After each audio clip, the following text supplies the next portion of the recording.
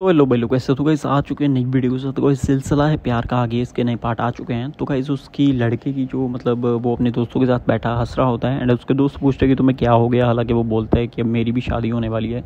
And उसके बाद guys हमें देखने को मिलेगा जो कि उसकी माँ और उसकी दादी, वो जो उसकी ब्याह रचाने का मतलब सोचती रहती है। दरअसल उसे दिखता नहीं होता है, और हमें उसके ख्वाबों में थोड़े से मोहिनी, यानी कि उसकी नौकरानी, जिसमें पूजा पाउडर देखने को मिलेंगी, उसके साथ और सीन्स देखने को मिलेंगे। एंड उसके बाद गाइस हालाँकि उसकी एक गर्लफ्रेंड भी होती है एंड जैसे वो मतलब लड़की कपड़े पहन लेता है तो मोहिनी वहाँ पे आ जाती है, वो बोलती है कि अपने गलत चीज़ पहनी है। तब कुछ ना कुछ होने लगता है, लेकिन उसकी माँ आ जाती है और वो उसे मतलब बोलती है कि ये तो मोहिनी है।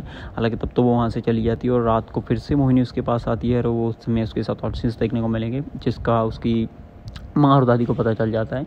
हालाँकि वो पंडित जी को भी बुलाते हैं और उसके बाद जो उसकी एक गर्लफ्रेंड होती है, उसके साथ भी हमें बीच में सीन्स देखने को मिले। हुए जैसे ही पंडित जी को बुलाती है, वो बोलती है कि इसकी शादी जल्द से जल्द कीजिए एंड उसके बाद वो मोहिनू को ही पसंद करता है, जो कि उसके घर की नौकरानी होती है, वो उसी से शादी कर लेता है। लास्ट में हमें इसके साथ और सीन्स देखने को मिलेंगे। शादी का जोड़ा उस, वो पहन रखी होती है, जो कि मोहिनी होती है। एंड इसी के साथ वेब सीरीज़ का एंडिंग सीन देखने को मिलेगा। आप इसका जाकर देख सकते हो, जलवा ऐप पे एंड सिलसिला है प्यार का वेब सीरीज़ का नाम है। तो चाहिए अगर आपको देखना मिलते हैं कोई अगली वीडियो या फिर अगले कोई वेब सीरीज़ के एक्सप्लेनेशन में